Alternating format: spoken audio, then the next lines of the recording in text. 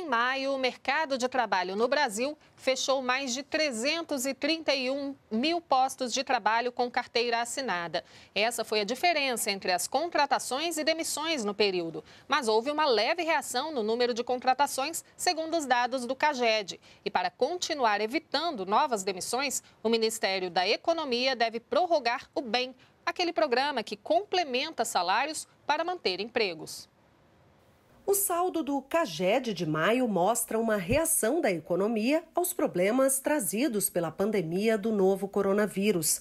As demissões diminuíram e as contratações aumentaram 14% em relação a abril. Ainda que o maior problema seja a redução do ritmo de contratações, já começamos a ver uma reação também no que toca às contratações. Em maio, a construção civil e a agricultura registraram o maior número de admissões. Já os desligamentos aparecem em maior quantidade no comércio, seguido da indústria e do setor de serviços. A Covid-19 foi a responsável por um volume grande de demissões a partir de março. E no acumulado do ano, o Brasil registra a perda de 1 milhão 487 mil vagas.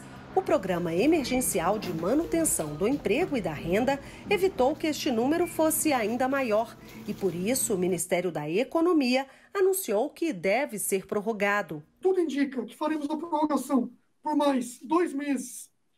A questão da suspensão e por mais um mês a a redução de jornada. Com o benefício, já foram celebrados 11 milhões de acordos e 9 milhões de postos de emprego foram preservados, como o da Cristiane, que trabalha num restaurante e teve o contrato suspenso durante a pandemia. Esse foi o momento que me deu mais segurança de que após essa pandemia o meu trabalho, né, está garantido, que mesmo que eu receba um valor diferente, né, com esses acordos.